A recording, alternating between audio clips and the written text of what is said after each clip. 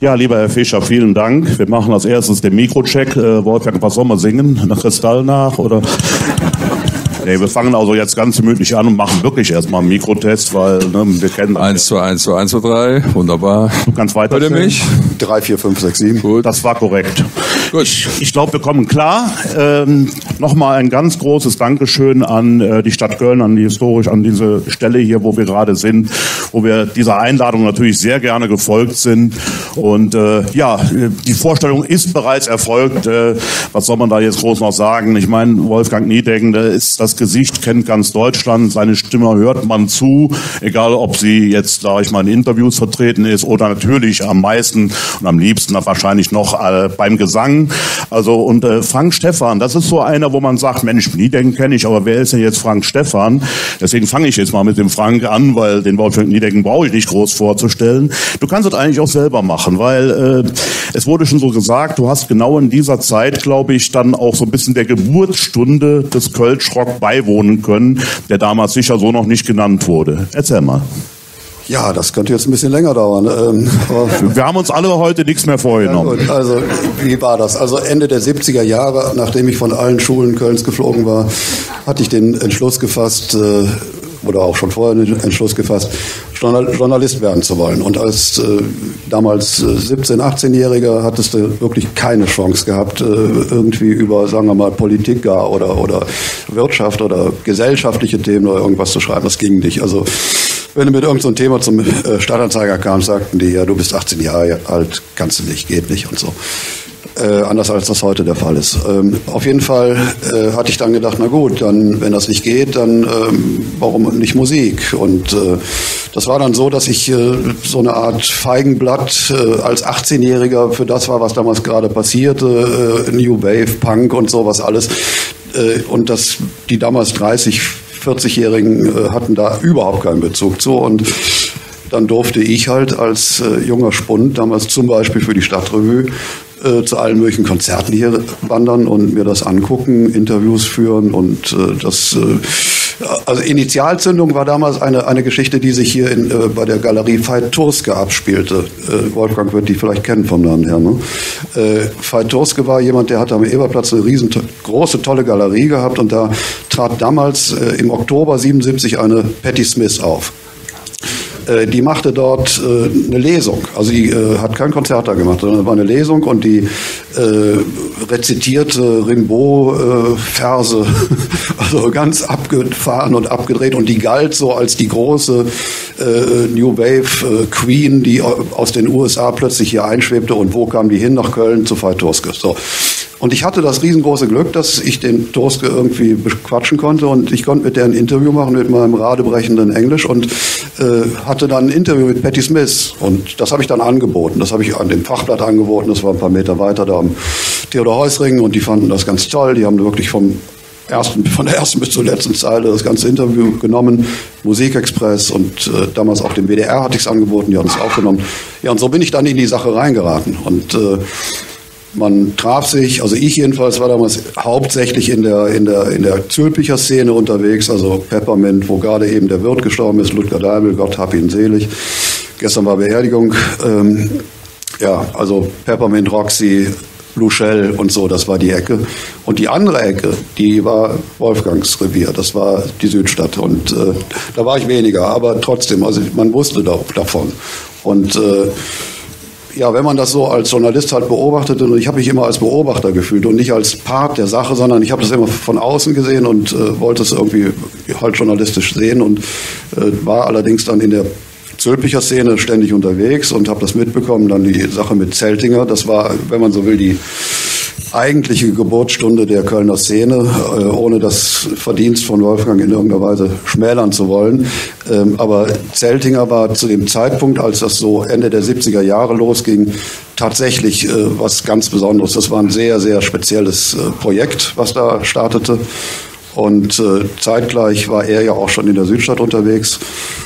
Aber als ich das Magazin machte, Kölschrock, ähm, da war es so, dass das äh, eigentlich äh, bis zu dem Zeitpunkt jedenfalls kein richtiges Thema äh, in Köln war. Es gab eine Kölner Szene, das, Kölner Szene darüber wurde geredet, aber noch nicht, das Kölschrock war noch kein nee, Thema. Nee, das gab es noch nicht. Also vor allen Dingen nicht, dass, dass es äh, Rockmusik mit Slang, also mit, mit Dialekt gab. Es gab deutsche Musik mit äh, Rock, äh, also Rockmusik mit deutschen Texten, das gab es, das war Lindenberg und so, aber mit, mit Slang, das gab es bis dahin nicht. Und Zeltinger war halt dann der Erste, der eigentlich so bundesweit Furore machte aufgrund dieser Sache.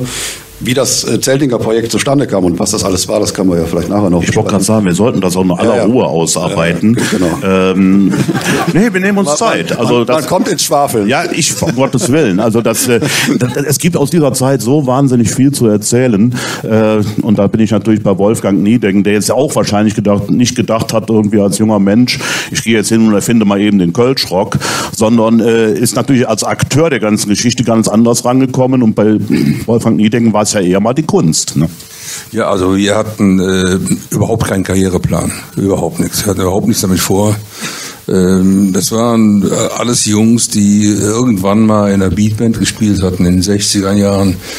Und ähm, man traf sich dann, machst du noch Musik? Äh, ja, mit wem denn? Was macht denn deine Bassgitarre? Ja, ich stehe im Keller. Äh, so in der Art. Und dann äh, hat man überlegt, äh, wir können uns eigentlich mal treffen, einmal in der Woche, mal ein bisschen Spaß und spielen halt irgendwas und dann äh, proben wir diesen Kasten Bier leer und dann gehen wir in den Klotwicher einen trinken, so in der Art. Und Moment, also in der Reihenfolge, wir proben den Kasten Bier leer und nee. gehen danach einen trinken. Ja, ja, jeder, jeder, ja, aber jeder brachte ja Gott weiß wie viele Freunde und Freundinnen mit, also der Kasten Bier, der war sehr schnell weg. Und vor allen Dingen hatten wir dann damals äh, in dem Kalk-Sandsteinwerk in Hersel den Hausmeister, der hat immer geguckt, ob das auch alles klar war. Und der hat sich immer auf den Kasten gesetzt. Und der hat am meisten getrunken. Weil, er wird schon wissen, warum er drauf gesetzt Der hieß Hans Lechler, werde ich nie vergessen. Hans Lechler, der Lechlers Hens. Und der, der fand das auch nicht gut, dass wir immer dann noch Stücke geprobt haben, die Barmer gespielt haben. Fand er nicht gut. Also er fand eigentlich so, dass man, wenn man eher schon auf dem Kasten Bier sitzt, dass man dann für ihn ein Konzert spielen sollte. So, das haben wir dann gemacht und dann kam ich halt irgendwann mit dem ersten Stück auf Kölsch an. Vorher weil Gott weiß was gecovert. Also wirklich, und, äh, man musste uns wirklich überreden, aufzutreten. Das heißt, von einer, von einer Kölschen, äh, von einer Kölschen Szene, haben wir überhaupt keine Ahnung. Und die Südstadt war zu der Zeit äh, 76, 77, 78 da hast du auf allen Ecken irgendwelche bleiverglasten Spießerkneipen und da war nichts mit, mit Szene. Also das, äh, Clemens Böll hat dann irgendwann äh, das Globig-Eck übernommen, noch damals Ecke Bonner Straße, Globigplatz und hat die Kneipe genauso gelassen, wie sie war und hat darauf vertraut, dass die schon irgendwie zugeklebt wurde mit, mit Plakaten und mit allem Möglichen. Das hat auch funktioniert. Und dann hatten wir endlich eine Kneipe äh, für unsere, sagen, für unsere Altersklasse in, in, in der, in der Süd Südstadt. Es war eine Kneipe, ansonsten sind wir natürlich auch immer da zur Übischer Straße gefahren. Podium, das war, sind wir sehr oft gewesen. Immer überlegt, fahren wir jetzt schwarz, können wir ein Bier mehr trinken oder, äh, oder bezahlen wir? Ja, also das war also wir mussten halt, wenn wir Gleichaltrige treffen wollten, dann mussten wir auch wirklich zur Züricher Straße. Und wir haben, wir haben uns wirklich keiner Szene zugehört. Habt ihr denn so ein bisschen Vorbilder gehabt? Also jetzt außer, ich meine, Dylan ist klar, das weiß man. Ne? Das, also, das ist ja meine, mein Privatspleen. Also das ist ja jetzt nicht so, dass die Band da immer drauf gestanden hätte. Also Kölsche, sag ich mal, Kölsche Töne in dem Fall. Es gab ja, glaube ich, keinen, der sowas in der Art hier in Köln gemacht hat. Doch, die Blackfoes haben, die Blackfoes haben ganz viel, äh, also, äh, wie soll man sagen, viel Selbstverständnis Verständnis gegeben. Das, was die Blackfish zu der Zeit gemacht haben, das war jetzt nicht unbedingt eine Beatband oder was, aber die konnten das alle. Das waren gute Musiker. Tommy konnte großartig diese Sachen interpretieren, die da, die da liefen und äh, ähm, ja, also das, für das Selbstverständnis haben die Blackfish ganz viel getan. Und der Zeltinger äh, war halt ein, eine Naturerscheinung. Das war eine Naturgewalt. Ne? Und das Unikum. War, das war halt zu der Zeit äh, Punk, äh, den musste man nicht mehr erfinden, den gab es schon in Zeltinger. Das war natürlich klasse. Der Arno Steffen hat dieses, diese wunderbare Coverversion von Müngersdorfer Stadion, Rockaway Beach, geschrieben. Das ist äh, nach wie vor Sensation, das Teil. Ja. Und dann haben sich die, Holger Tschuker hat sich drum gekümmert. Also Can bis Gott weiß, ja. alle, alle fanden, das, das ist ja unfassbar, was da läuft. Dann haben die dann irgendwie im, im Roxy, in dem winzigen Roxy noch in der Antwerpener Straße, haben die dieses Ding zur Hälfte aufgenommen, der Rest im Proberaum. Und das war natürlich ein Hammer, dieses Album. Das war Conny sensationell. Plank vor allen Dingen noch. Was? Conny Plank vor allen Dingen. Ja, Conny Plank, Conny Plank hat natürlich, ja klar, der Conny Plank hatte natürlich den Instinkt dafür, das ist einzigartig. Das ist absolut einzigartig und das, äh, das hat sich ja dann auch bundesweit äh, sofort äh, multipliziert. Das war auf einmal in aller Munde. Und ähm, ja, und wir haben, glaube ich, zur gleichen Zeit dieses Album aufgenommen, aber überhaupt nicht mit dem Ziel, überhaupt nicht mit dem Ziel, da jetzt großartig, äh, man hat uns mehr oder weniger überreden müssen. Man hat uns wirklich überreden müssen. Also, Auf Kölsch zu singen. na, nicht auf Kölsch zu singen. ne? Man hat uns überreden müssen, eine Platte zu machen. Das okay, die, ja. die Eigelstein-Leute damals, äh, also ein engagiertes kleines Plattenlabel, äh, die hatten schräg gegenüber vom, vom, vom Saturn. Äh, und ähm, die wollten eine Platte mit mir machen. Mit mir. Habe ich gesagt, also, äh, ich habe ja schon in Kneipen gespielt, ich hatte im Vorprogramm der Schmetterlinge gespielt in der, Mühlheimer Stadthalle. Die waren auf mich aufmerksam geworden und dann, äh, ja, die wollten gerne eine Platte machen. Ich dachte, wenn, dann mach ich das mit den Jungs zusammen, das habe ich ja keinen Bock zu. Dann ist er, ist, er, ist er zu uns in den Proberaum gekommen, hat die Hände um den Korb zusammengeschlagen, weil wir hatten keine vernünftige Anlage. Wir hatten, wir, war mega amateurhaft. Wir hatten keine Arrangements. Also eigentlich waren wir Punk. Also wenn, wenn der Gitarrist G gespielt hat, dann hat der, der Bassist auch G gespielt und ich habe G gesungen. So what? Also das war Arrangements gab's nicht. Es war so und dann, dann mussten wir dann damit eine Platte machen. Ja, das haben wir dann auch gemacht. Und das war das erste Album. Und dann ist es sehr schön hier in dem in, in das Plakat, was da vorne von uns hängt. Äh, Da steht wirklich noch. Äh, also dieses Plakat hat eigentlich eine unfassbare Geschichte. Eigentlich hießen wir Bab. Wir haben gesagt, komm, schön kurzen Namen so. Ähm, Bab ja eigentlich mit zwei P, aber lass das eine P fort, das sieht scheiße aus. Das. So, und dann haben wir das mit den drei Buchstaben gemacht und dann Eigelstein wollte dann doch, weil ich ja bekannter war, dass ich in den Kneipen gespielt habe, die wollten dann äh, doch dann Wolfgang Niedeckens, dann noch äh, ja, in Gottes Namen, dann haben wir dann Wolfgang Niedeckens und es stand immer spielt andere Kölsche Leder. Und als wir die Platte dann fertig haben, ja, können wir da nicht rockt andere Kölsche Lieder, um Gottes Willen, nie den Rock, wir rocken doch nicht die Bohne, wild gewordene Liedermacherkapelle oder was. Ja, und dann haben sie, haben wir das, nach langem Hin und Her dann doch Wolfgang Niedeckens Bab, riesenlanger Name, Wolfgang Niedeckens Bab, äh, rockt andere Kölsche Leder. Ja, aber da ist ja schon Kölsch-Rock drin. Rockt Kölsch. Ja, genau. Aber das, das Plakat davor war ja noch anders. Also, also ehe wir uns jetzt hier in ganzem Kleinkram verlieren, ich kann da ganz viele Geschichten erzählen, ab 1976, was da gelaufen ist. Ähm, wir sind irgendwie wie die Schlafwandler plötzlich dann äh, dazu gekommen, dass wir überall im Radio gespielt wurden und uns selber von Platz 1 verdrängt haben. Das ist unfassbar. Ja, Das war ja auch eine Welle, die dann euch äh, wahrscheinlich alle überrollt hat. Also Das war ging ja richtig ab. Aber ich denke, wir sollten noch ein bisschen bei den Wurzeln bleiben. Jetzt hatte das gerade noch erwähnt, diese Urkraft und Urgewalt, die dann teilweise rüberkam, in dem Fall Zeltinger. Und äh, aber Babs kam dann auch zu der Zeit schon, sind ja auch in deinem äh, Kölschrock schon drin. Ähm, aber das kam dann so, sage ich, hinterher und dann aber umso gewaltiger. Wie hast du dann den weiteren Gang verfolgt? Auch von ihm natürlich. Ab wann meinst du jetzt? Ja, ab äh, im Prinzip ab der Zeit, äh, nachdem, äh, wir mal, der erste Erfolg von äh, Zeltinger da war. Äh, ich glaube, das Mikro geht nicht, ne, oder? Geht, geht, ja. Aber das ist im Verhältnis zu seinem Mikrofon äh, äh, etwas leiser. Er spricht auch ein bisschen leiser, glaube ich. Ja, wahrscheinlich. Okay, ja, wie war das? Ähm, ja, das gibt Rückkopplung. Ähm, wie war das damals? Ja, also als Zeltinger auf seinem Höhepunkt im Prinzip war, das war dann so 81 in dem Dreh, äh, hatte er ja die großartige Chance eigentlich gehabt. Er war damals für die Rock-Pop-Nacht gebucht gewesen. ZDF, ne? ZDF und äh, soweit ich mich erinnere, äh, ist er dann mit auf der Tour mehr oder weniger im Delirium gescheitert. Also das Ding ging nicht mehr weiter. Er musste dann aufhören und äh, ich glaube, ihr seid dann stattdessen dort aufgetreten. Ich, ich habe also Essen, äh, nee, nee, nicht Essen, das war Nee, Dortmund, Dortmund oder Westfalen. Ja, ja. Ich weiß nicht, also wir wurden da eingeladen, das war, das muss im Sommer 81.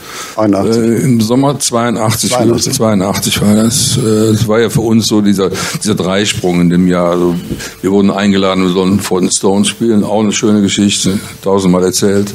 Äh, dann, äh, äh dass wir dann Rockpop in Konzert und dann nachher Lorelei. Das war so der Dreisprung. Ja, ja, ja. Und, und, zwischendurch ging dann irgendwie verdammt lang her durch die Decke, obwohl es nicht als Single ausgekoppelt war.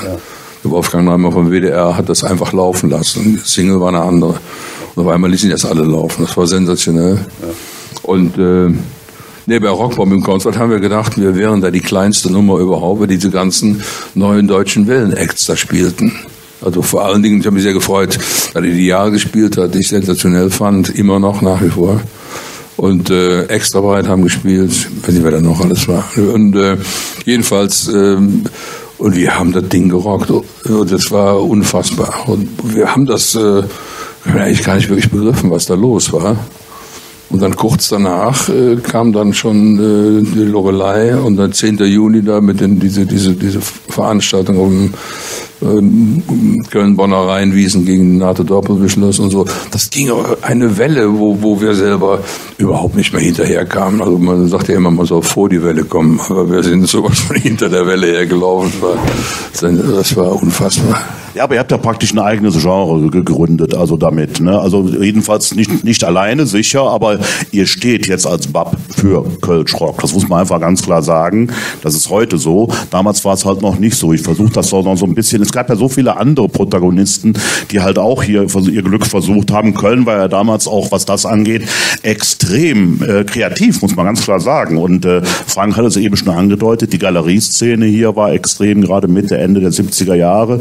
Äh, aber warum soll ich das erzählen? Du warst da ja eigentlich viel aktiver. Ähm, da war ein Schmelztiegel entstanden. Woraus eigentlich? Warum war auf einmal dieses Kölsche so in? Ja, das Kölsch. Galt ja auch mal als verpönt.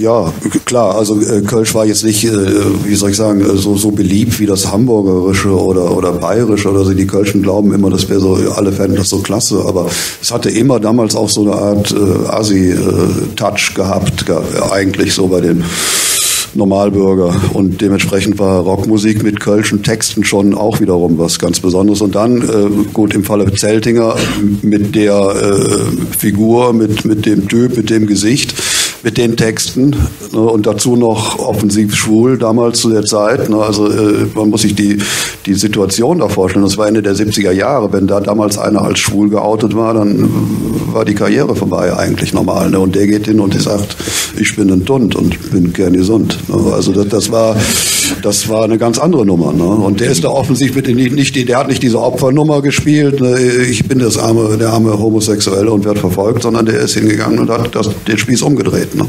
Und äh, hat das offensiv gemacht. Und äh, äh, das war allerdings jetzt auch nicht so massenkompatibel, das Ganze, würde ich jetzt mal sagen, weil äh, das hat schon angeeckt auch. Ne? Also und als Wolfgang dann kam mit ähm, und, und der ist jetzt nicht jemand, der, der, der, der kann sich äh, intellektuell ausdrücken, äh, sieht ganz anders und viel netter sah er damals aus als, als der Zeltinger. also das und er hat, äh, und sie haben halt eben auch, äh, sage ich jetzt mal, ohne das abwerten zu wollen, das war halt, ich sage jetzt mal konventionelle Rockmusik. Ne? Also als der Major dabei war, das war halt eben dann schon wieder. Das konnte auch die ganze Masse sozusagen. Ja, also das, das ist gar nicht ne? negativ ja, gemeint. Ja, klar, also Im Gegenteil, das war schön. Und das haute rein ohne Ende. Ne? Also das, äh, sie hatten außerdem das Glück gehabt, dass sie halt zum rechten Zeitpunkt das Label gewechselt haben. Ne? Also dass die EMI auf die aufmerksam wurde. Man darf auch nicht vergessen, was den Wert oder den Stellenwert Kölns als Musikstadt betrifft, da war die EMI Elektrola halt eben extrem wichtig.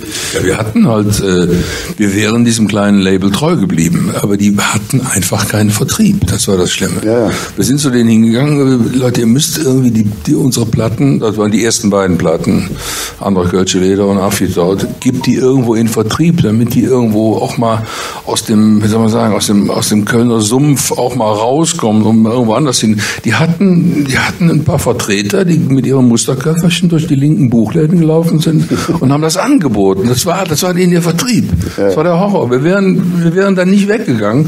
Und dann, dann, Gott sei Dank, hat uns damals hier unser Bassist, der war der geschäftstüchtigste, der hat uns dann wirklich gesagt, Leute, wenn wir das nicht machen, wir verschmoren im eigenen Saft. Und dann hat der Gerich, äh, ja. Gerich hat die Plattenfirma ja. dann gesucht. Das war dann, war dann die EMI.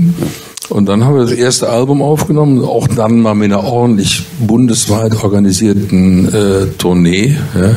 Peter Rieger hat die organisiert. Ja. Und dann äh, hat er dummerweise dann irgendwann äh, einen Tourbegleiter namens Roland Temme mitgeschickt. Und er war dann irgendwann Balu. Äh, Balu. Balu. Ja.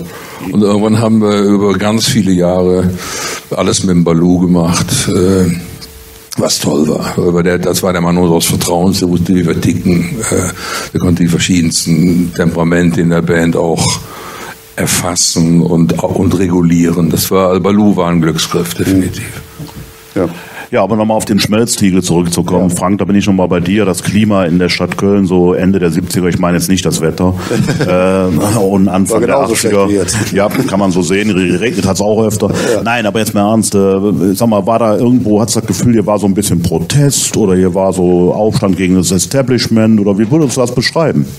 Nee, Köln war vor allen Dingen eine, eine, eine, echte Kunstmetropole. Also Köln, das kann man sich heute alles irgendwie nicht mehr recht vorstellen. Also Köln war neben New York das Mekka äh, der bildenden Kunst international. Also diese hiesige Galerienszene war enorm und hier waren alle wichtigen Künstler, also Art Cologne, alles das war hier.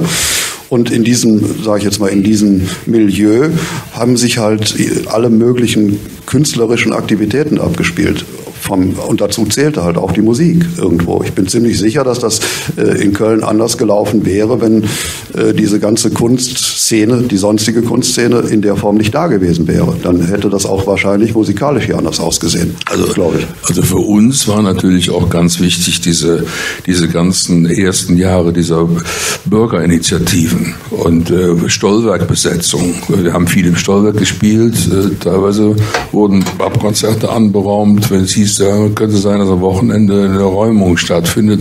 Da haben wir schnell ein Konzert anberaumt. Da ging das mit der Räumung nicht. Also wir haben, äh, wir haben da viel gemacht und die, die Bürgerinitiativen brauchten natürlich auch für ihre Straßenfeste eine Band, äh, die attraktiv war. Also wir haben Gott weiß wie viele Veranstaltungen gespielt für oder gegen was und oft sind wir dahin und haben dann erstmal, worum geht's jetzt eigentlich? Wir, was ist denn jetzt eigentlich? Und ich weiß auch genau, wie der Schmal irgendwann sagte, ja die Teppichtaschen sehen zwar komisch aus, aber irgendwie reich haben sie schon. Ne? Mit dem Motto, wo, wogegen sind wir denn heute?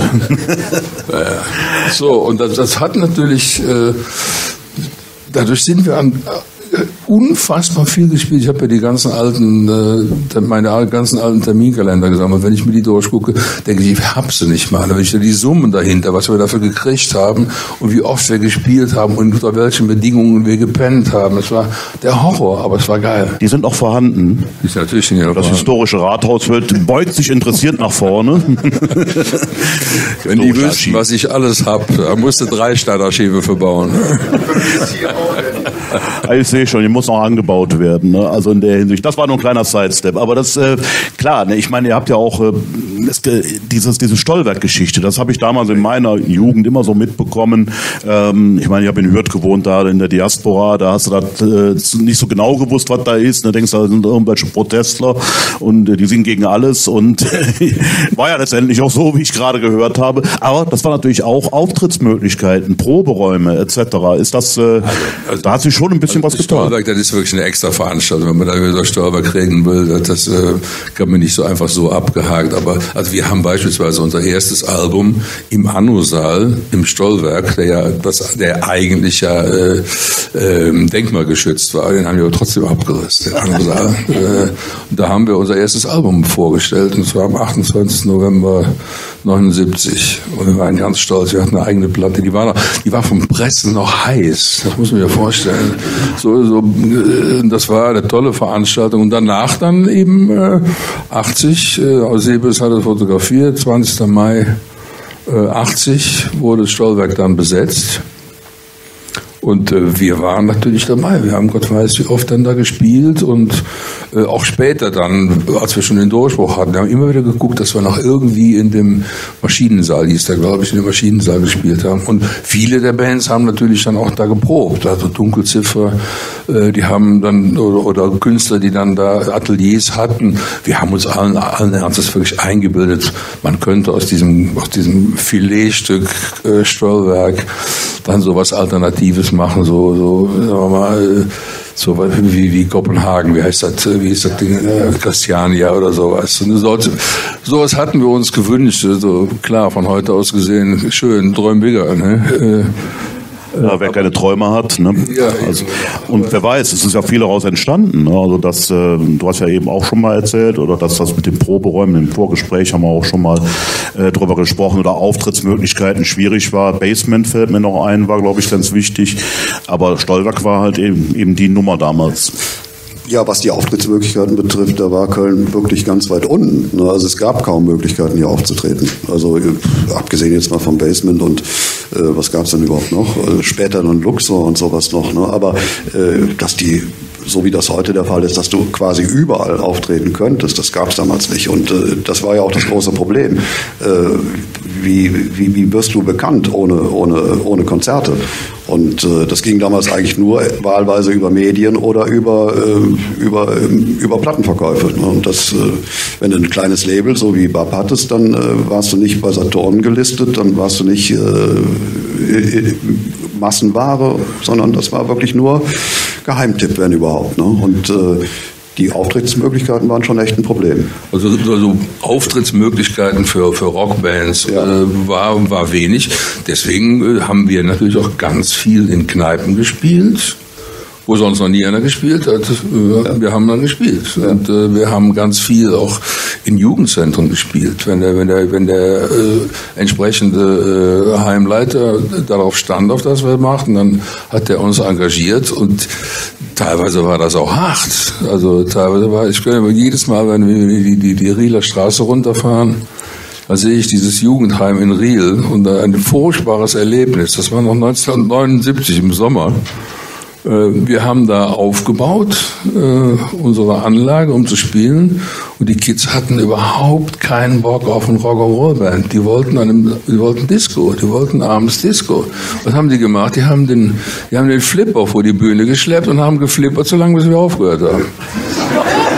Das war bitter, das war sowas von bitter. Da reden die heute noch drüber, wie sie damals Bab von der Bühne gejagt haben. Ne? irre, irre, schöne Geschichte, aber na gut, da muss man durch, glaube ich. Das, ne? das, es gibt ohne Ende von diesen Geschichten, wo du, die, die, die romanfähig wären, wo du irgendwie von einem, von, von, von einem Klo in den nächsten gegriffen hast. Das haben wir, klar, das gehört einfach dazu. Und irgendwann, irgendwann hörte das dann auf. Auf einmal, äh, äh, kriegten wir Angebote ohne Ende. Das ging, das ging ja so schnell. Das hat ja. sich so schnell gekippt. Ja? Also das war wirklich eine rasende Geschwindigkeit, wie das sich entwickelt hat und dann im Prinzip die ganzen 80er kann man sagen, äh, dann äh, ja im Prinzip eine riesige Welle, äh, dann natürlich auch der Begriff Kölschrock dann auch aufkam, aber immer verbunden mit Bab, obwohl es ja immer noch ein paar andere Protagonisten also ich, gab. Ich sage ja immer, die, die, die, die, die tollste Phase von dem, was man halt Kölschrock nennt. Die tollste Phase war eigentlich um die Anfang der 90er Jahre, ähm, als es plötzlich, ähm, als der Tommy sich von Blackfish getrennt hat und hat LSE mit den, mit den beiden Kollegen gemacht äh, mit Frank, mit, äh, mit äh, Arno Steffen und mit Lammers, LSE, äh, eine sensationelle Band. Das war sowas von innovativ, nur was. Und Piano Has Been Drinking war auch ein, ein, ein eine sensationelle Truppe. Ja, und äh, ja. Brings war noch keine Karnevalsband und die haben auch ordentlich losgelegt. Und ähm, das war das war dann eben genau auch zu der Zeit, wo wir dann auch Arschu gespielt haben am Klobichplatz. Das war genau diese Phase, war für mich die interessanteste, also jetzt mal abgesehen von diesen ganzen lustigen Sachen, die am Anfang passiert sind, aber so am, am kreativsten war das genau diese, diese, diese Phase, das war unfassbar. Also da hat uns, in, in der Zeit hätte uns auch keine andere Stadt in Deutschland das Wasser reichen können. Also gerade dieses Arsch-Hu-Konzert, was du da ansprichst, äh, das ist natürlich ein, ein absoluter Hammer gewesen. Ich meine, ne, Klofisch platzt, die Bilder haben wir alle noch vor Augen. Das ist schon absolut irre. Und äh, das war, glaube ich, dann auch so eine, ja, war das der Höhepunkt, kann man sagen?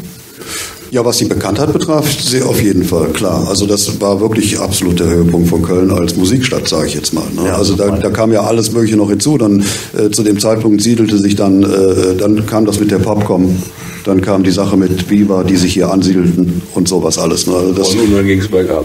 Ja, so gesehen ja, ne? klar. Aber, aber das war so, sagen wir mal, der Höhepunkt jetzt vom, vom Stellenwert Kölns. Und dann äh, kann man das sogar vielleicht fast an einem, an einem äh, Datum sogar festmachen. Es ging dann abwärts eigentlich, und das ist ja auch einer der Trugschlüsse Kölns. Mein, Köln glaubt immer, äh, es, es wäre von sich aus sich selbst heraustragend.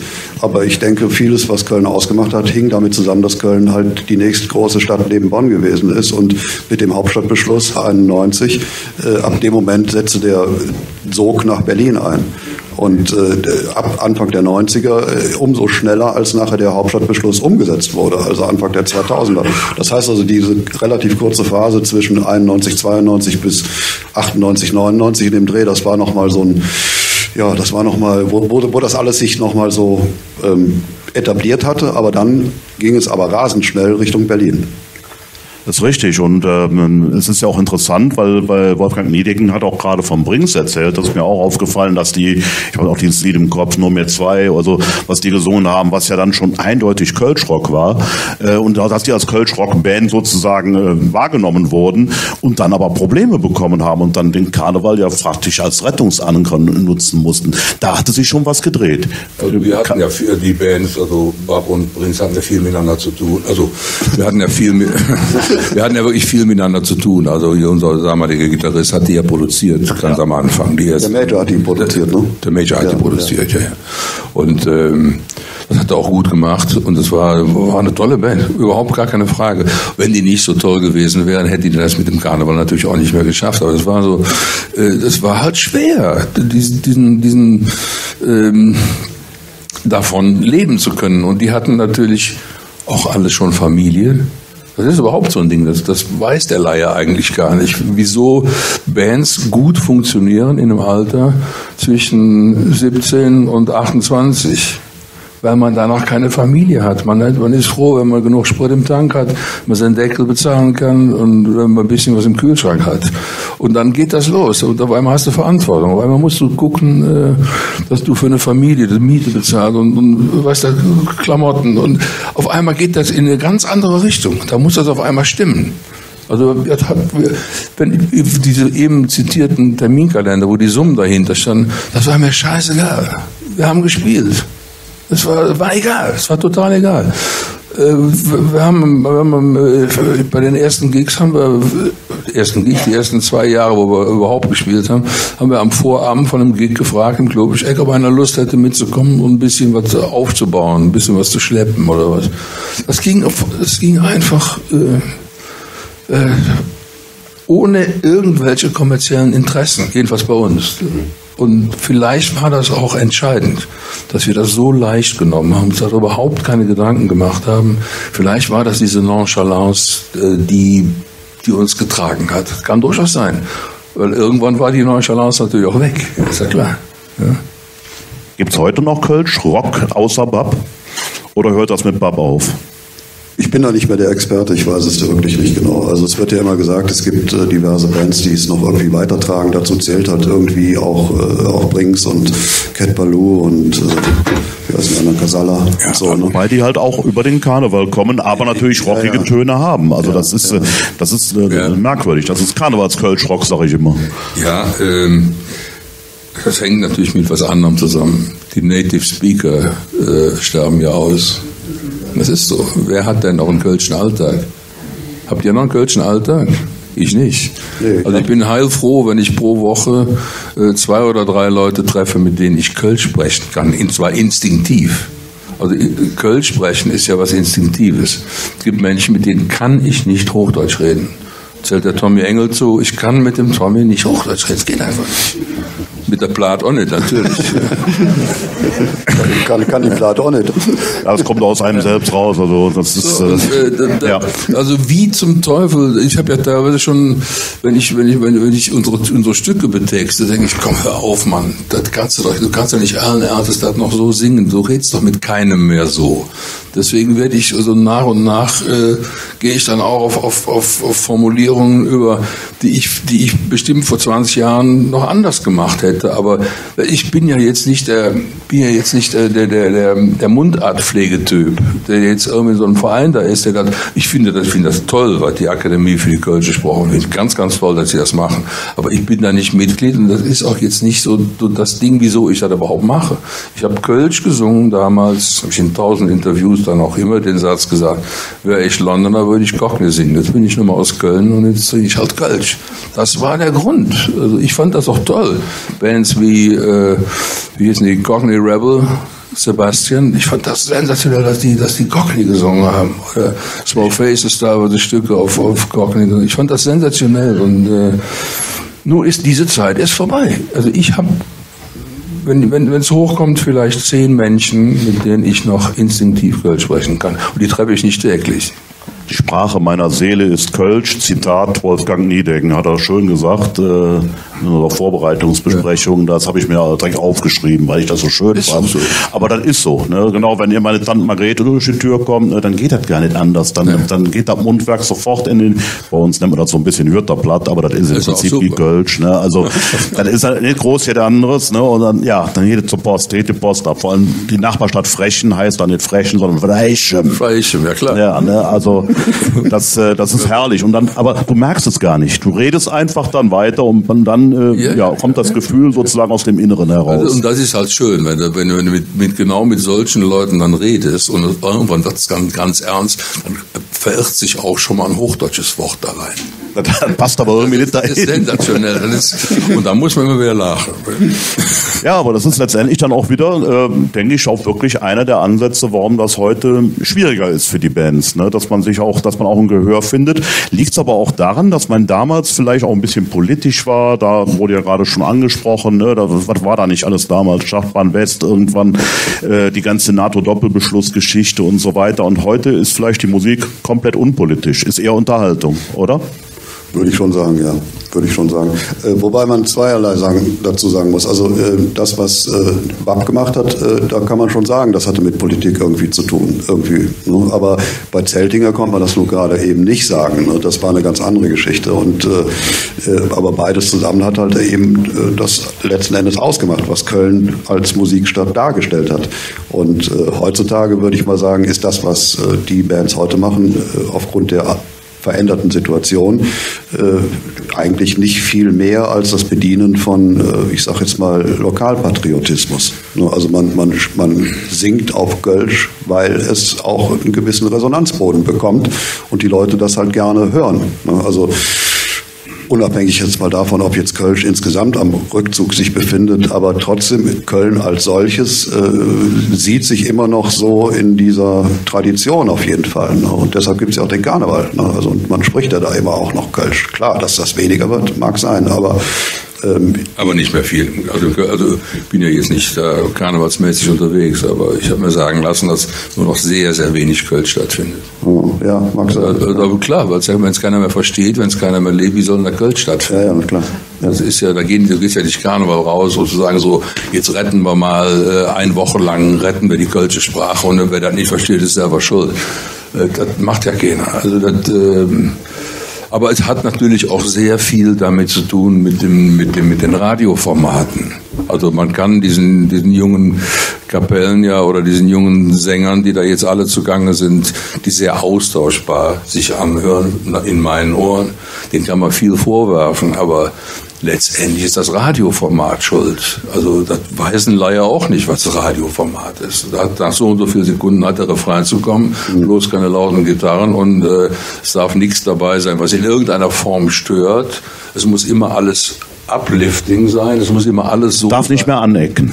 darf nicht mehr an, es muss uplifting sein, sonst glaubst du nicht im Radio. Und wenn dich danach richtest, dann hast du diese Lego-Musik. Ja, dann hast du das. Schöner Begriff. Ja, Ja. passt auch. Dann hast du Lego. Ich will da gar nicht verächtlich drüber reden, weil erst war, die Ra erst war das Radioformat und dann kam die Lego-Musik. Also das an den jungen Kollegen festzumachen, halte ich für unfair. Es gibt ja auch gute Bands nach wie vor. Ne? Also die, die, die setzen sich nur nicht so stark durch. Ich meine, wenn man heute auf Konzerte geht, ich überlege, welche Konzerte ich zuletzt besucht habe, das waren alles die alten Säcke, auf gut Deutsch gesagt. Ne? Kraftwerk, äh, äh, OMD, was auch immer. Ne? So, und äh, das ist halt äh, Dinge, die wir schon in den 80ern gehört haben. So, ne? Das, was heute kommt, ist natürlich auch klar, wird immer noch. alles. Gibt's Gibt's alles. alles, Aber aber- ich habe so ein bisschen das Gefühl, die ganze Musik ist einfach so ein bisschen generell etwas sehr weich gespült. Rebellenblut gibt's da, glaube ich, keins. Ne? Oder wenn, Ja, dann setzt es sich nicht durch. Also, äh, lass mal beim Radioformat anfangen. Es ist, äh, es ist furchtbar. Also die, die, die, die freien, also die, die, die kommerziellen Radios haben letztendlich dann die Maßstäbe gesetzt für den öffentlich-rechtlichen. Der öffentlich-rechtliche ist hinterhergedackelt. Das ist ein Skandal. Ich äh, kämpfe da natürlich immer wie Don Quixote gegen die Windmühlen dabei. Ich höre fast auf jedem Album irgendeine Nummer dagegen, wo ich mich darüber aufrege. Musik, die nicht stört, gibt es ein sehr schönes Stück. Ja, ja aber das, das nützt gar nichts. Das Radioformat äh, regiert uns. Und, und dann äh, passt du dich an als junge Band oder du sagst, scheiß drauf, wir ziehen, äh, ohne dass wir irgendwie ins Radio kommen, durch die Gegend und auf die Gefahr hin, dass wir keinen Erfolg haben. Und dann siehe eben äh, 17 bis 28 und irgendwann äh, musst du damit Geld verdienen, dann, äh, dann war es das schon wieder. Macht das jeder. Nicht jeder läuft da als Held durch die Gegend. Äh, Das ist, äh, das ist, eigentlich ist es tragisch, weil ich kann mir nicht vorstellen, dass die alle nur Lego-mäßig äh, unterwegs sind und das Einzige, was sie können, sind Lego-Dinger zusammenbasteln. Also die können mehr, mit Sicherheit. Ich kenne ja auch die Bands, die, äh, wo wir keine Namen nennen, aber äh, was sie vorher gemacht haben und was sie jetzt machen, äh, teilweise ist es furchtbar. Tut mir total leid. Ich halt mal so als Beispiel sagen darf, so, so ein Song wie Smoke on the Water mit diesem be bekannten Gitarrenriff am Anfang wäre heute gar nicht mehr, würde im Radio nicht laufen. Und da würde so einiges nicht laufen. Also, Das war jetzt nur ein Beispiel, weil mir gerade einfällt, weil es wirklich jeder kennt. Ne? also ein, ein Stück wie Kristallnacht von uns, was keinen Refrain hat, das war schon hart, mein lieber Mann. Es gibt keinen Refrain und trotzdem äh, Ja. alles gestürmt, was- ohne dass wir es wollten. Wir haben einfach so gesagt, koppel die beste Nummer vom Album auf, das ist Kristallnacht. Und das hat funktioniert. Verdammt lang her. Der erste Refrain kommt nach vier Strophen. Tu mir eine, tu mir eine Gefallen. Das könntest du heute nicht mehr bringen. Ne? Also, obwohl genau das ja das Schade so, so schlimm ist, ne? weil es genau das dann dann passiert, dass es eben sich alles gleichförmig anhört. Aber ja, aber äh, ich möchte noch mal vielleicht mal einen kleinen Rücksprung machen in die in die Anfangszeit, weil ich wollte einfach mal gucken, die ganzen Protagonisten, die der Frank damals auch in seinem Kölsch-Rockheft, das ist ja wie eine Zeitkapsel. Ich muss das einfach hier mal erwähnen, äh, weil du hast ja wirklich genau in den Zeitraum 81 ist es veröffentlicht worden. 80 hast du es geschrieben, mehr oder weniger. Äh, und da sind ja sozusagen Protagonisten dabei, die in der, Zeit halt wirklich äh, ja, in waren. Und da, äh, Zeltinger ist schon erwähnt worden, Bab Triumvirat finden wir da. Kölner Szene, die haben natürlich nicht Kölsch gesungen, die haben Englisch gesungen. Da- Damit wäre auch international ein Erfolg nachgewiesen, weil die haben ja auch international, zumindest in den USA, also ein bisschen Emerson, Lake und Palmer Verschnitt, äh, ja für Furore gesorgt. Ne? Und was macht äh, einer von den Jungs heute? Sprichst du von Arno Steffen oder von Nee. Jürgen Fritz? Jürgen Fritz. Ja, Jürgen Fritz spielt heute mit äh, Tommy Engel zusammen. Richtig. Ja. Jürgen Fritz, einmal damals sowas wie der ja, Leader, sag ich mal, von Triumvirat. Ne? Er war der Boss von Triumvirat. Das war der Rick Wakeman auf Kölsch, ne, sozusagen. Ne? Ja, und heute halt äh, so, ist er bei so vielen tollen Liedern wie ja, von Tommy Engel halt dann sozusagen auch im Hintergrund aktiv. Der Piano Man, ja. Mhm. Ja. Also man sieht schon, äh, der ein oder andere, aus dem ist dann doch noch was geworden. Auf jeden Fall war dann Kölschrock, aber mit dem kann ich mich auch nur Kölsch unterhalten. Wunderbar. Ja. Wunderbar, wunderbar. Habt ihr mal zusammen gespielt? In, Im Zusammenhang mit Tommy und äh, er hat dieses Dings hier niemals geht mal so ganz produziert. Ja. Auch eine sehr schöne Geschichte. Auch eine sehr schöne. Das kann ich mir vorstellen. Also da kommen wir vielleicht auch nochmal drauf zurück. Ich wollte nochmal über die Blackfoes reden. Ganz am Anfang hat äh, Wolfgang Niedenken das ja auch klar gesagt, weil hier auch die Blackfoes drin sind, die man ja im allerersten Moment viele Leute heute gar nicht mit Kölsch Rock verbinden. Warum sind sie trotzdem drin? Ja, die Blackwoods waren zum damaligen Zeitpunkt so eine Art äh, übergeordnete Instanz in Köln. Das war die, die, die thronten über allem. Das war Volksmusik im weitesten Sinne und auch im besten Sinne. Die haben ja alle Stile, die es überhaupt gab, irgendwie äh, in sich vereint auf eine sehr gute und auch kreative Art, finde ich. Und äh, das konnten die sehr schön ausdrücken. Und sie waren halt eben auch äh, schon, schon alleine von ihren äh, enormen Plattenverkäufen über allem thronend. Also bevor dann Album erschienen Neues, da waren die schon auf, auf, auf Goldstatus. 250.000 waren da schon im Vorbestellwege weg. Und äh, deshalb, äh, wie gesagt, thronten die über allem damals zu dem Zeitpunkt. Und Zeltinger, der dann später kam, der, der hat vielleicht summa summarum 100.000, 120.000 äh, LPs vielleicht verkauft oder so. Äh, das ist alles jetzt nichts gegen Liedingen, ne? also nachher dann. Ne? Das, das, das war ja dann nochmal in Potenz, das Ganze. Aber zu dem damaligen Zeitpunkt äh, war man mit 250.000 verkauften Exemplaren bei einer LP, äh, also da warst du ganz weit oben. Ne? Und äh, das hatten die Blackfist gemacht und äh, vor allem Tommy Engel hatte immer so eine Affinität zu dem, was auch da in der Rockszene passiert. Und äh, der interessierte sich dafür. Und die Blackbirds haben auch aktiv da mitgemacht. Ne? Sie haben auch aktiv dort äh, begleitet und sie haben auch äh, Zeltinger beispielsweise, Tommy Engel ist ja dann auch da mit aufgetreten und ähnliches. Ne? Also die, die haben sich da sehr engagiert und haben da hohe Verdienste, was das betrifft. Absolut. Und ähm, dann nennen wir noch ein paar andere Namen, die du auch damals auch interviewt hast. Äh, neben natürlich Wolfgang Niedenk. Das Interview ist ja auch hier drin. Auch so, ein, so eine Art Zeitkapsel, ja, sag ich mal. Sagen, ja. Mal nebenbei bemerkt, das Heft gibt's vorne noch zu kaufen. Ein paar hast du noch. Das sind so die letzten, glaube ich. Ja, das also vielleicht richtig, um es richtig zu stellen. Also ich habe noch mal dieses Magazin. Ich hatte nur noch ganz wenige Exemplare von dem eigentlichen ursprünglichen, was damals erschienen ist. Und es ist dann noch mal vor ein paar Jahren äh, durch eine andere Sache äh, not, nicht notwendig geworden. Ich bin da auf die Idee gekommen, das ist doch eigentlich so verrückt, das Ganze. Leg's nochmal auf als Faksimile-Druck. Und äh, der Faksimile-Druck, der jetzt erschienen ist, ist ein ganz anderer als das, was da damals war. Das war ganz billiges Papier, damals 1981. Und jetzt ist das halt auf richtig teurem, äh, weiß ich was, äh, Katalogpapier erschienen. Alt. Äh, genau. ja. Und wir haben vor allen Dingen, ich meine, das muss man auch mal wissen, äh, dass wir haben gerade vorhin noch in der Ausstellung darüber gesprochen, wie man früher Grafik gemacht hat. Ne? Also das Ausschneiden von den ganzen Zeug und Aufpappen und Kleben und Repros machen und so. Das war alles ein Heidenakt, das Ganze. Und äh, damals waren so wahnsinnig viele äh, schreckliche Rechtschreibfehler in dem, in dem Ding drin, ne? in dem ersten. Irre, echt irre. Und da habe ich wirklich dann gesagt, komm, das müssen wir alles nochmal jetzt korrigieren. Und dann haben wir das gemacht. Hast du auch einen Kasten Bier leer geprobt, oder? So ungefähr, ja. Oder mehrere Kästen. mehrere Kästen. Beim Schreiben, ich kann es mir vorstellen, ich bin auch Autor. Ja, und dann haben wir halt eben, also wie gesagt, viel, viel besseres, tolles, richtiges, tolles Papier und dann die Fehler korrigiert. Da waren sogar die Blackfurs falsch geschrieben. Die waren nur mit einem S Geschrieben. Das geht ja nur ja nicht. Ja, es ist irre, ne? Und äh, ja, dann ähm, alles korrigiert und dann auch ein bisschen Farbe noch dazu gemacht und so. Jetzt sieht das halt ganz anders aus. Und von diesem Faksimile-Druck gibt es halt noch ein paar weniger Exemplare und die kriegt man hier, wenn man sie haben will. Okay, haben wir das sozusagen den Werbeblock auch hinter uns? Den Werbeblock haben wir hinter uns. Das gehört aber dazu und ja. ich denke, viele ja, zum werden ja Verständnis, weil die Leute denken vielleicht, das wäre das alte Ding von 1981. Nee, nee, das, das ist, es definitiv nicht. Ja. Also das sind ja heute auch ein bisschen farbiger, alles genau. netter gestaltet. Äh, was ich interessant war, dass du auch Conny Plank äh, damit aufgeführt hast, der letztendlich auch international riesig erfolgreich war, äh, aber damals auch schon in der Kölner Szene halt äh, letztendlich aktiv war. Also als Produzent halt. Ne? Der hat ja sein berühmtes Studio gehabt, da gab es mal eine schöne Fernsehdokumentation mit seinem Sohn, wo man das alles nochmal gesehen hat, wer da alles gewesen ist. Absolute Weltstars, ähm, aber eben auch Köln. Also der hatte da großen Einfluss. Ja, absolut, ja. Also obwohl er kam nicht aus Köln, er kam eigentlich gebürtig aus Kaiserslautern und ist hier irgendwo gelandet und hat dann halt hier sein Studio aufgebaut, also mit einer unglaublichen Akribie gearbeitet. Der Mann, der war völlig besessen von, von seinem Job und äh, also mit höchstem kreativen äh, Potenzial äh, ausgestattet, der Mann auch. Ne? Also er hatte wirklich ein Riesennäschen für das, was wirklich, er nannte das immer so, was authentisch ist.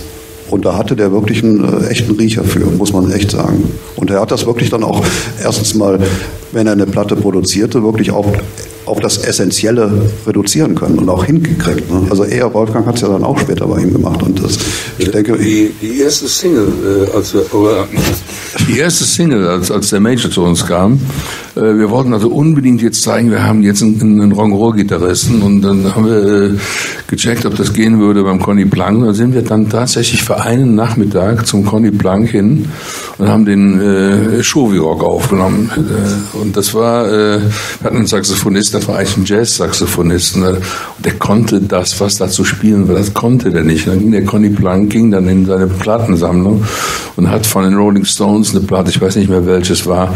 Und dann ist er, der war ja ein kräftiger Kerl, dann ist er wirklich durch diesen Studio, so Chuck Berry-mäßig ist er, ist er durch dieses Studioraum da und hat dem körpersprachemäßig gezeigt, was er jetzt zu spielen hat.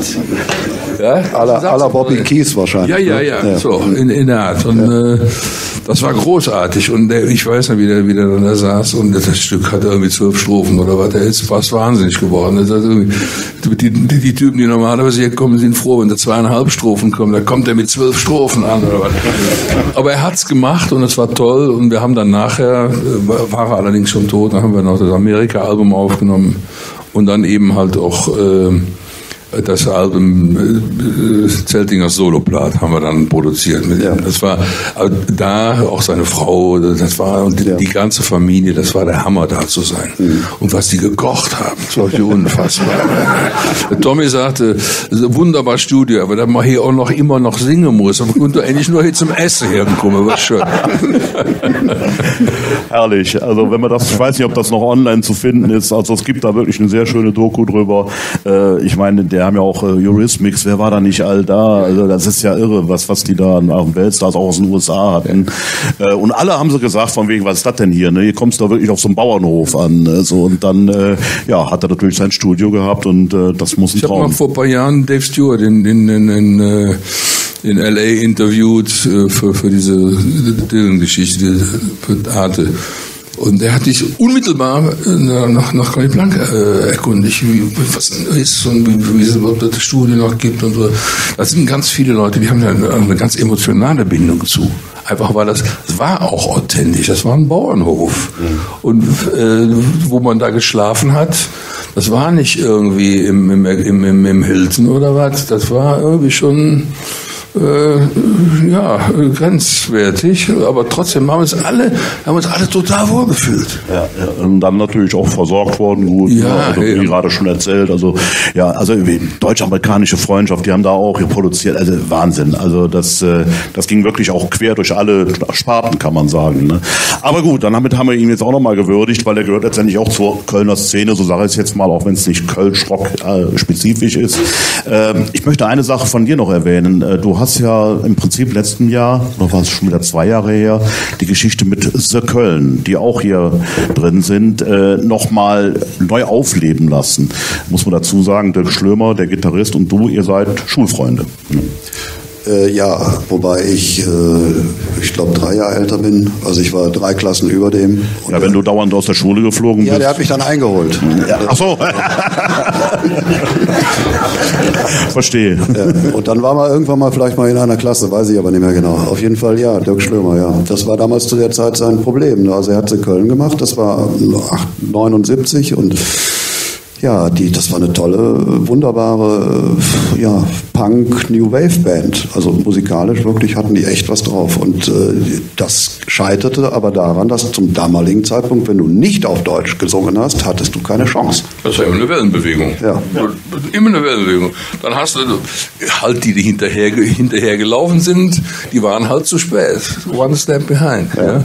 Ja und, äh, aber die Wellenbewegung kannst du bis heute verfolgen. Also ja. wie in der Kunstgeschichte auch. Das ist immer eine abstrakte und, und, und eine realistische. Äh, äh immer Immer eine Wellenbewegung. Ja, genau. Und das Gibt's war in allen Lebensbereichen. Ne? Also die hätten eigentlich äh, wirklich Erfolg haben müssen eigentlich von ihrem Potenzial her, aber das war nicht der Fall. Dirk Schlürmer war damals auch noch relativ jung, ich auch. Und, und, und da hatte der keinen Bock mehr, als das nicht gleich lief. Und da haben sie das ganze Projekt dran gegeben. Und, aber dennoch, das, was sie da noch hatten und auch als LP damals eingespielt hatten, das schlummerte immer in irgendwelchen Schatullen rum. Und irgendwann, äh, das lag daran, dass ich damals den, den Flohe-Film gemacht habe. Und ich habe mir damals gesagt, der, der, der Dirk soll die Filmmusik machen. Ich wollte keine kölsche Musik haben, ich wollte Rockmusik haben da, da drauf, auf das Thema Flohe halt. Ne?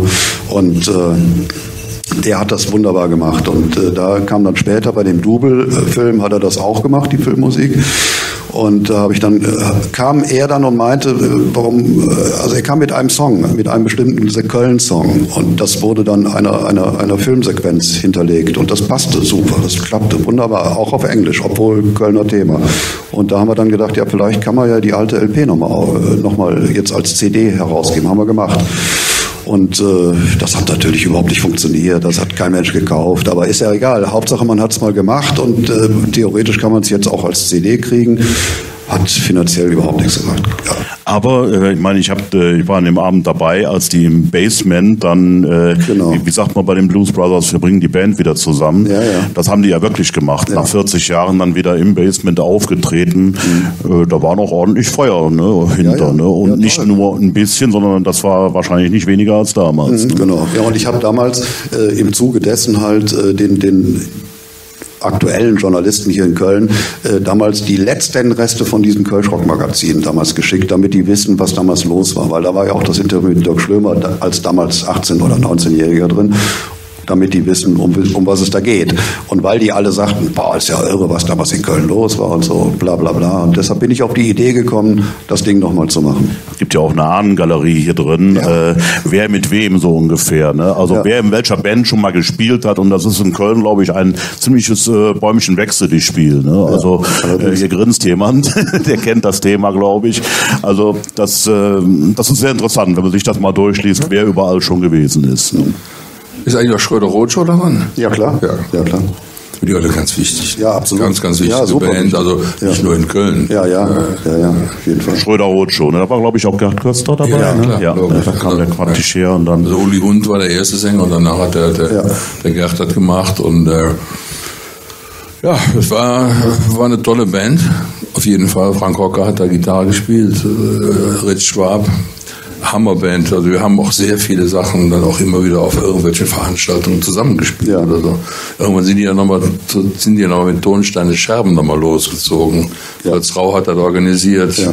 was aber glaube ich nicht so doll gelaufen doch, ist. Das ist doch, ich, doch, ja, ja doll kann man nicht sagen, aber es ist schon ganz gut ich gelaufen. Ich habe es in Satori gesehen. Ja, ich auch, ich auch. Aber die, die Stimmung war nicht gut ja, weil, äh, Schröder Roadshow, das war ein Rock'n'Roller. Ja, aber das lag daran, dass die Leute, die eigentlich ihr Stammpublikum waren, die waren sauer, dass die sich mit so einem äh, Großmogul wie Fritz Rau äh, zusammengetan ja. haben. Ne? Das, das, das widersprach dem äh, alternativen Selbstverständnis. Also weißt du, zu der Zeit haben wir da nur drüber, drüber gelacht, über diese Vorhalte. Aber das, also das war, also wenn bei uns einer ankam und hatte eine neue Jeans sich gekauft, dann guckten die anderen und sagten, ich finde, du bist ganz schön kommerziell geworden. die haben das nicht mehr für voll genommen. Das war einfach Gaga. Ja. Und wir sind Gott sei Dank noch von Eigelstein zur EMI. Äh, und das ist unbeschadet, obwohl ja auch aus, aus dieser Stollwerk-Szene kam. Relativ unbeschadet, ja, ja. Mhm. Weil, weil, wir ihm auch klar gemacht haben, wieso wir das Ich kann mich aber erinnern, dass damals auch einige Leute gesagt haben, oh, jetzt werden sie kommerziell. Ja, ja klar, logisch. Das gab's auch. Neue Jeans, ja klar. Ja, ja. und, äh, aber äh, bei Schröder, als die dann zur EMI gegangen sind, das war Horror. Das war, was die sich alles anhören mussten, ja. Das war nicht mehr schön. Das, aber sie galten ja auch noch als ein äh, Tick äh, äh, extremer, also Anarcho-Rock, also richtig äh, heavy, äh, Anarcho-mäßig waren die unterwegs und nicht so wie ihr, da war der ja. Ja, aber die, die Schröder sind, war doch so, wie, wie hieß der noch, äh, Django Edwards, sie haben also ganz ja. viele Dinger da so rein, ja. reingebracht, ja. das waren Happenings, das war sensationell, ich ja, großartig. Ja. Da ist auch wieder Kunst mit dem Spiel, ne, gerade bei solchen Leuten, also dann ist die Verbindung, da haben wir ja eben auch schon drüber gesprochen, zwischen der Kunstszene und der Musikszene sehr stark äh, immer noch da und äh, ja, ich würde aber gerne mal noch äh, Bezug auch mal hier zum, zum, zu dem Ort, wo wir gerade sind, herstellen. Ähm, das historische Stadtarchiv, ich habe eben gerade darüber gesprochen, mal so ein bisschen aus Witz, aber wäre das wirklich mal ein Thema, ein paar Sachen auch äh, dem Stadtarchiv zu überlassen? Ich glaube, da würden sich keiner gegen wehren hier. Ne? Also, weil ich denke mal, das ist ja wirklich historisch. Also ihr habt da wirklich eine historische Leistung verbracht mit der Kölschstocks. Also ich habe ich hab alles Mögliche, aber da ich lebe noch und ich habe äh, äh, weißt du, wenn, das ist schon, das ist teilweise. In ferner Zukunft natürlich. Also ich habe alles, aber ich, ich habe eigentlich keine große Lust, irgendwo da rumzustöbern, weil das bringt mich teilweise einfach scheiße drauf. Weißt du, ich, äh, Bob Dylan hat gesagt, don't look back. Und das, da, da ist was dran. Wenn du an einem Stück nach hinten guckst, kommst du an so vielen Stellen, kommst du scheiße drauf, weil das einfach nicht gut war oder weil es irgendwie eine Phase war, wo du, wo du dich nicht wohl gefühlt hast und so. Also ich möchte die Zeit, die mir noch verbleibt, äh, und ich, bin 72 und mal gucken, wie lange ich das noch machen kann. Schauen wir mal. Also noch sieht es aus, als wenn es endlos wäre. Das, das, kann sich, ich habe einen Schlaganfall vor elf Jahren gehabt. Äh, das kann auf einmal, mit einem Ding kann das einfach zu Ende sein. Und ich habe keinen Bock, an einem Stück nach hinten zu gucken. Der ganze Kram ist da und dann schauen wir mal, was wir damit machen damit lassen wir einfach das so stehen und äh, harren der Dinge, die da kommen und wünschen natürlich vor allen Dingen weiterhin äh, eine tolle Gesundheit. Äh, das ist das Allerwichtigste, wissen wir ja. Ja, äh, vielleicht Frank, nochmal zu dir, ganz kurz, das Thema Kölschrock. Gibt es irgendeinen Punkt, den du noch loswerden musst an dieser Stelle? Nach dem Motto, Mensch, das hat der Ralf noch nicht gefragt. Das muss aber jetzt noch raus. Dann bitte sag's jetzt oder schweige für immer. Dann schweige ich jetzt für immer. Oder für heute. Nein, aber es ist mir nur wichtig, dass wir ja auch an, vielleicht kann auch jemand aus dem Publikum, da habe ich auch kein Problem mit, da können wir das hier Ganze auch noch eine Frage, Mensch, warum hat er das noch nicht gefragt, dann würde ich das jetzt gerne noch hier mit einbinden. Ist jetzt nicht abgesprochen mit den äh, Herrschaften und mit den Damen hier, aber äh, ich mache es einfach mal. Hat jemand eine Frage? Wahrscheinlich an Wolfgang Niedeck oder auch an Frank Steffer. Aha, geht schon wieder los. Ich muss wieder einen ausrufen. Eine Bitte nach einfach einer schönen Geschichte. Eine schöne Geschichte. Eine Anekdote. Also praktisch ein Anekdötchen. So. Ich frage jetzt einfach mal, äh, ich weiß nicht, ob das stimmt, aber ich habe mal irgendwann gehört, äh, der Major und äh, der Wolfgang Niedecken haben sich auf dem Herrenklo kennengelernt. Stimmt das? Das stimmt, das stimmt. Ja, das hat was, das hat mit Goldschrock zu tun. Jawohl, mit den Worten, ich finde euch scheiße. Pass auf, ja, Hammer. ähm, wir müssen aber auch noch die Trude Haar-Geschichte erzählen, wenn ich es tue. Ja, dann legen wir die hinten dran. Ja, also, aber diese Geschichte war wirklich irgendwie, als wenn, als wenn oben irgendeiner äh, da Regie geführt hätte. Wir sind ins Basement gegangen, weil, also wir in dem Fall, äh, der Schmal, also unser Percussion-Spieler, mit dem ich zusammen studiert habe, mit dem ich zusammen gemalt habe, wir beide sind ins Basement gegangen und unser damaliger Bassist, auch der Grön, Wolfgang Klever, äh, war dabei. Und der hatte uns gesagt, also da gibt's eine Band, die hieß Jennifer. Und der Gitarrist wäre bereit, zu uns rüber zu wechseln. Und das war ein toller Gitarrist, wunderbar. Da sind wir da hingegangen, der, der wäre schon prima, weil unser damaliger Gitarrist vom ersten Album, der wurde der wurde Vater, stand im, Ex im Examen Jura in der Volkswirtschaft und musste den, die, die, das Kalksandsteinwerk seines Vaters übernehmen. Der konnte nicht mehr. Der, der, der sagte, ihr müsst euch einen anderen suchen. Ich kann da nicht mehr. Also, sucht euch einen anderen. Und das war ein sehr guter Freund von mir. Und das war, war traurig, weil wir, weil wir haben zusammen angefangen mit dem. Zeug. Und dann sind wir ins Basement gegangen und haben uns diese Band angeguckt. Und ehe dass wir mit dem, mit dem Mann da geredet haben, der da bereit war zu wechseln, äh, musste ich nochmal auf dem Klo und stehe auf dem Klo und da spricht mich von der Seite ein Typ an und sagt, du bist doch der von Bab.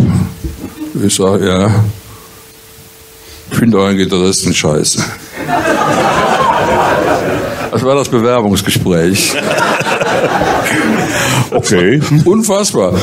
Okay, ja, prima. Also, wo ist das Problem? Also, Ehrenrettung zum Hans war jetzt nicht unbedingt so wichtig, aber äh, okay, wenn der meint, er wär, und dann, ja, er würde auch Gitarre spielen.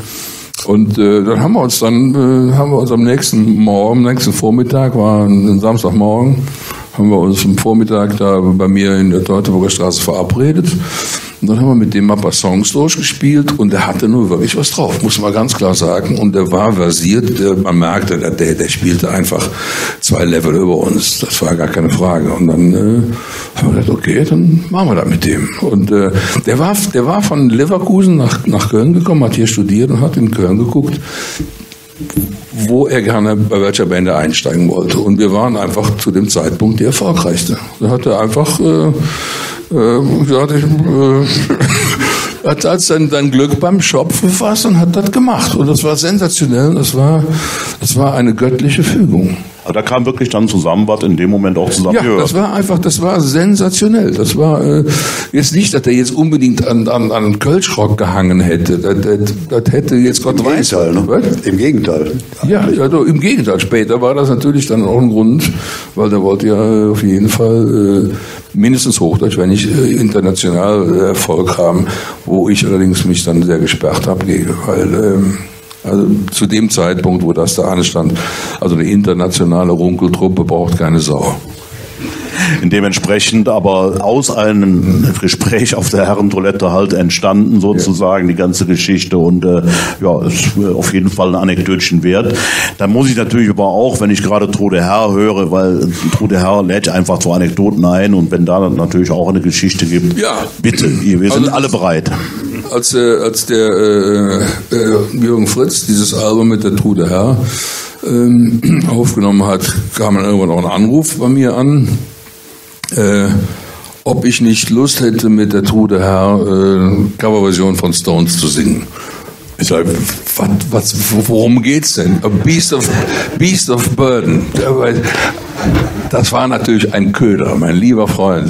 Beast of Burden mit der Trude Herr singen. Fleisch zugeworfen. Das ist schon, das war schon geil. Und der Text, den sie dafür hatten, der war auch okay. Und dann bin ich dann in das Studio gefahren. Und dann habe ich ja mit der Trude sehr, sehr, sehr schnell hingekriegt. Wir haben uns amüsiert, wir haben, haben uns weggeladen. Das war so geil. Das war richtig klasse. Wir haben auch schon ein paar Weinchen getrunken. Und dann irgendwann äh, war ich dann fertig und dann sagt die Trude, hör uns, Jungen blieb da noch ein bisschen hey. Der, der Tommy Gütlich auch, der singt ja mit mir zusammen. Ja, und dann kam der Tommy und dann, äh, ich weiß nicht, ob es abgegachtet war oder ob es wirklich Zufall war, komm, sing das doch auch mit. Niemals geben wir so ganz.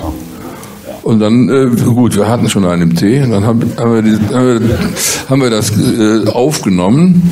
Und ehrlich gesagt, als ich dann die, die, die Aufnahme dann gehört habe, und zwar beim Chef von der EMI, beim Helmut Fest im, im, äh, im Büro, ich dachte, tut mir leid, das kann ich nicht freigeben, das ging nicht. Also weil der, weil der Text war Hochdeutsch. Und ehrlich gesagt, der Text war scheiße. Der war richtig scheiße. Ja, komm, lass, lass mich da raus aus dem Ding, die, die sind ja genug, die da singen, ich will da nicht mehr mitmachen. So, und dann Kurz danach rief die Trude aus dem Krankenhaus an, die, die, die sich die Beine hat operieren lassen. Er hatte äh, unglaubliche Pro Beinprobleme. Und, und sagt, Junge, das kannst du mir nicht an. Und, äh, äh, ich, ich kann das nicht noch und singen. Ich bin im Spital, ich bin tot, krank, ich kann das nicht mehr. So, und dann, äh, was haben wir denn jetzt? Und dann, ja, pass auf, Trude, wir machen alle, ich nehme mir den Text vor und wir machen alle äh, Strophen, die du singst oder äh, auch die Refrains, lassen wir Hochdeutsch, so wie sie waren. Und bei den anderen gehe ich nochmal drüber und dann gucken wir, dass der Tommy und ich das auf Kölsch singen. Und dann habe ich, Tommy und ich sind dann nochmal ins Studio gegangen und haben unsere, unsere Sachen nochmal mit dem überarbeiteten Text gesungen. Und das ist das Ding, was alle kennen. Aber diesmal dann nicht angeschickert, ne, sondern dann Nee, nein, das war, das war einfach nur. War ja das einfach war ja spontan, Das, ne? das war so schön. Das war Ja, so, es ja. war ein unfassbar gemütlicher Abend. Wir haben uns wirklich, äh, wir haben so viel Spaß gehabt. Es war ganz, ganz großartig. Und dann äh, kam das Ding dann raus. Und wie hieß diese, diese Fernsehshow, wo, wo das dann im Playback lag, mit Jürgen von der Lippe. Äh, Oh, ja. das war auch der, das war unfassbar. Das war natürlich dann Playback, was man Ja, da spielte. Trude Herr konnte nach dieser Operation auch immer noch nicht wirklich gehen. Die kam da auf Krücken auf die Bühne und hat dann irgendwie das Ding gespielt und das, und das Publikum war aus dem Häuschen, aber sowas von aus dem Häuschen. War das so ist es? Ja, so ist es, So ist genau. es, und dann ja. äh, kam dann Zugabe. Oder hat er noch nie gegeben, so ist es. War am Schluss Zugabe, Zugabe. Und dann am Mikrofon ist er dann nach so einem Playback-Ding, ist ja dann auf. Und dann sagt die Trude, Jung, lass das Ding noch ins Laufen. Tritt die, tritt die Schuhe ins Publikum und macht das nochmal. Die Beine waren okay. Es war eine Wunderheilung. Ja, deswegen, Sensationell. da sieht man mal, was der Gesang ausmacht. Ja, hey, ne? Also das, das, und dann auch auf Kölsch. Also herrlich, Geschichte und das Lied, das lieben wir bis heute alle. Es ist einfach. Ist auch ein ja, tolles Lied, Ja, definitiv. ging ja sofort in Mark und durch Mark und Groschen. Also das, da muss man noch nicht drüber reden. Ja, damit haben wir zwei sehr schöne Anekdoten zum Schluss gehabt. Oder hat noch jemand eine Frage oder noch einen weiteren Vorschlag? Ansonsten, ah, da hinten steht jemand auf. Bitte. Haben Sie denn einen Tipp für kleinere Bands? Also was ich im Moment höre, ist immer nur Kosten reduzieren, wie kann man noch Kosten sparen? Aber das ist ja wirklich. Äh, also ich würde jeder kleinen Band empfehlen, möglichst schnell irgendwo zu, auch von geringen, von einem kleinen Publikum aufzutreten, weil eine, ein Auftritt ist mehr als zehn Proben, weil da merkt man, ob es geht oder ob es nicht geht und, ich, und das Adrenalin hilft dabei. Und möglichst viel spielen, möglichst viel spielen und nicht irgendwelche Trends nachäffen. Sobald einer kommt und sagt, mach doch jetzt mal was, heute ist im Moment gerade, es gab eine Zeit, wo, wo alle wie Nirvana spielen mussten. Es gab eine Zeit, wo alle wie Police spielen mussten.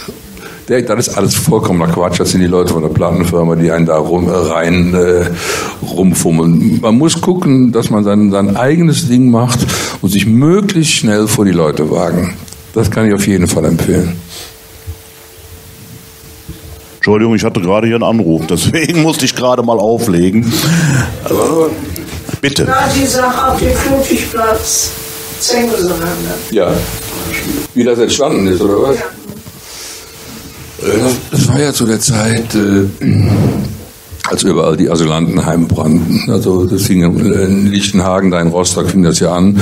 Und dann äh, wirklich eine, eine, eine Brandspur durch die ganze Republik. Und man fing an, sich daran zu gewöhnen. Und dann kam ein Anruf, in dem Fall bei mir an vom, vom, äh, vom Karl-Heinz Pütz, der damals das Luxor betrieben hat dass sich äh, verschiedene Musiker da getroffen haben, die äh, und dann äh, und äh, sagten, wir, wir müssen irgendwas machen. Wir müssen irgendwie was machen, um den Kölnern eine Gelegenheit zu geben, sich dagegen zu positionieren. Oh, wie soll das denn bitte gehen? Und dann haben wir uns getroffen im äh, Stadtgarten-Restaurant an der Fenloher Straße. Da waren sie alle da, und zwar all die, die Kölsch gesungen haben. Es war so wirklich eigentlich, äh, ja, äh, also nicht die Kölsch-Rock-Szene, aber das war so, der Karl-Heinz hatte das danach ausgesucht, die, die Kölsch singen können, wir müssen das jetzt für Köln machen. Karl-Heinz war ja ganz, ganz wichtig in, in dieser ganzen Vermittlung. Und ähm, dann haben wir uns getroffen und wir hatten natürlich teilweise auch Vorbehalte gegeneinander. Klar, logisch, das ist in der Szene so. Also, mit denen will ich nicht oder so. Das war so. Egal. Und dann merkte ich, wie, wie, wie dringend das alles war. Und ähm, hieß dann, wir, wir machen am besten machen wir ein Konzert irgendwo in Köln, am besten irgendwo, wo das auch die Stadt auch merkt. Nicht irgendwo auf der, auf der Pollerwiese oder auf der Jahnwiese, sondern mitten in, Köln drin. Und da ich ja am Klobischplatz aufgewachsen bin, am Klobischplatz aufgewachsen, habe ich gesagt, ja, lass uns auch am Klobischplatz machen. Ja, wie am Klobischplatz? Ja, äh, da wird es auf jeden Fall auffallen. Und äh, um wie finanzieren wir das? Irgendeiner hatte dann die Idee, wir, nehmen ein Album auf, jeder das entsprechende Stück, was dazu passt, ob entweder ein neues oder, ein- oder eins, was es schon gibt. Und eins von den Stücken nehmen wir dann als Single und dann gucken wir, dass wir damit in, ins Radio kommen. Und wir treffen uns äh, in drei, vier Tagen, treffen wir uns wieder, dann liefern wir ab was da jetzt entstanden ist. Und dann habe ich mich mit dem äh, Nikitakis, mit dem, äh, Nikitakis, also wer ist er richtig? Niki, für mich immer, ne? Äh, griechischer, griechisch-kölscher Gitarrist, sehr guter Gitarrist, mit dem ich zu der Zeit sehr viel zusammengearbeitet habe. Und mit unserem damaligen Keyboarder, mit dem Effendi Büschel, äh, zu mir nach Hause zurückgezogen und die haben im Keller an der Musik gearbeitet und ich habe unterm Dach am Text gearbeitet. Und dann bin ich wieder runtergelaufen, passt der Text, und dann haben wir da noch ein bisschen, dann wieder die, die Etagen hoch in die Dachkammer und weiter. Und irgendwann hatten wir es zusammen, haben dieses Demo gemacht.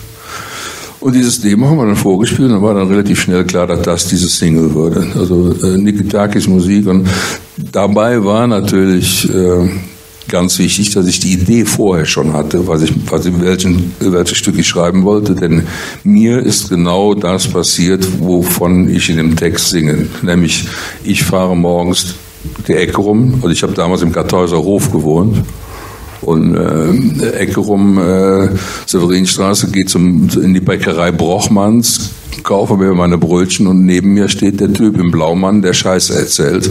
Und ich war an dem Morgen noch nicht in der Lage, dem zu kontern.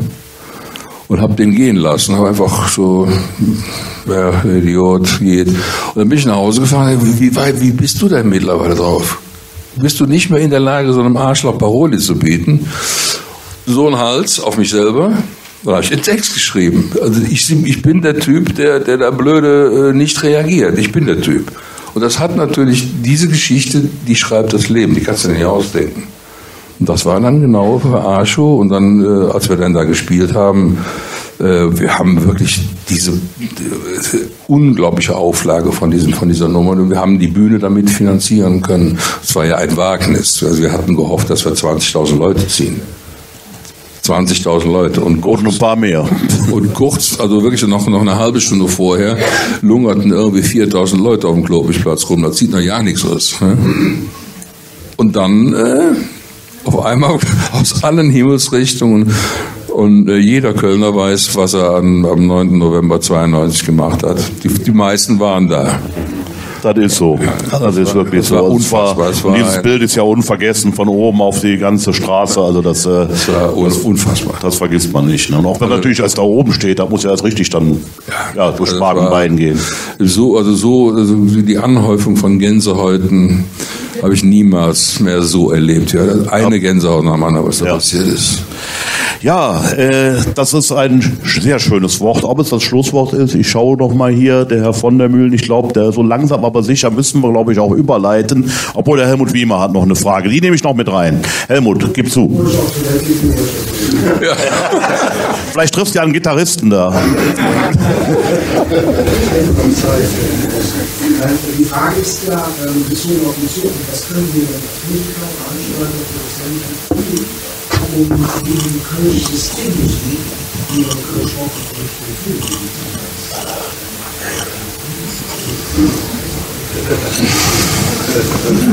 Echt die Gretchenfrage, ne? Also da, da zermachte ich mir an einem Stück den Kopf drüber, was man da tun kann. Äh, ähm, vielleicht ziehe ich mich so aus der Affäre, ich sage, nicht nachlassen. Einfach nicht nachlassen. Äh, äh, denjenigen, die einen mundtot machen wollen, einfach nicht nachgeben. Einfach nicht nachgeben. Äh, aber jetzt die Rezepte, äh, kannst du ja mal versuchen, den WDR zu reformieren. Das wäre auf jeden Fall ein Rezept, aber ist sehr viel Arbeit. das sind ohne Ende Musikleute im WDR. Ich habe ja mal, hab ja mal eine Sendung da einmal im Monat. Es sind so viele Musikleute, die alle halt nur. Ja, ich weiß es auch nicht wie. Also es ist, es ist ein Trauerspiel. Es ist ein absolutes Trauerspiel. Und Radio Köln hat ja nichts anderes. Ist immer auch nur äh, Kids wollen Hits. Also es ist, es ist einfach äh, ähnlich. Also wenn ich im, wenn ich auf Tour bin und im Hotel irgendwie am Schluss äh, Auftritt ist vorbei und ich kann noch nicht schlafen und ich zeppe durch die Fernsehkanäle, durch die ich in, in, zu Hause nicht mehr zeppe, weil ich weiß, wo die Sender sind, die ich wirklich gucke, die mich nicht beleidigen. Und ich zeppe einmal durch das ganze Elend durch. Ja, dann, dann weiß ich, dann weiß ich, was die Stunde geschlagen hat. Also man wird komplett verblödet. Man wird komplett verblödet. Und gegen diese Verblödung aufzustehen, ohne da jetzt irgendwie Waffenbrüder zu haben, die einem da helfen, bist du auf verlorenem Posten. Don Quixote. Gut, Das macht doch einsam. Und man will auch nicht verbittern übrigens. Man will nicht verbittern. Ja? und das war Mann. nicht. Ich glaube, der Herr von der Mühle, ich war eine Frage, wenn es kurz geht. Den Liedern, weil das so, äh, so frustrierend alles, aber dann würde auf einmal alle mal ganz rein. Ist ja. Ja, warum sollen die auch Kölschrock-Bands sein? Das ist eine, das ist eine, eine prima Band, die, die aus sich selber schöpft, die, die, die äh, authentisch sind. Ja, aber das ist, die, die sind nie angetreten zum Kölschrockenmachen, aber ich erkenne mich in. Ja, ne, ich, ich erkenne mich, ich erkenne vieles in, bei anderen Malkan, die ich auch persönlich kenne. Ne? Ich erkenne sehr vieles von uns äh, von vor 40, 45 Jahren in, in diesen, bei, diesen, bei diesen Jungs. Ich erkenne ganz, ganz viel davon. Und äh, wir sind auch wirklich gut. Äh, ja, ich habe mit denen auch schon gespielt und das ist, äh, die verstellen sich halt nicht. Also ich meine, gut, wenn, wenn die jetzt Tommy singen, dann Kölsch könnte man hier und da noch ein bisschen feilen. Aber, aber das ist ja nicht das Ding. Die machen das aus lauter Sentimentalität. Äh, Jetzt könnt ihr jetzt noch mehr davon erzählen, am Mai aber nicht. ich denke, solche Sachen, wir, wir haben ja noch so, so eine Art, äh, ja, soll man sagen, Aftershow oder so. Das haben wir ja noch. Da sind, glaube ich, solche Dinge dann auch wirklich angebracht, wo wir dann vielleicht auch mal ein bisschen im Infight da miteinander reden können. Jetzt erstens möchte ich mich hier ganz herzlich bedanken bei dieser Runde und äh, würde gerne überleiten zu dem Herrn von der Mühle, der uns, glaube ich, noch ein bisschen was erzählen möchte. Oder Ihnen.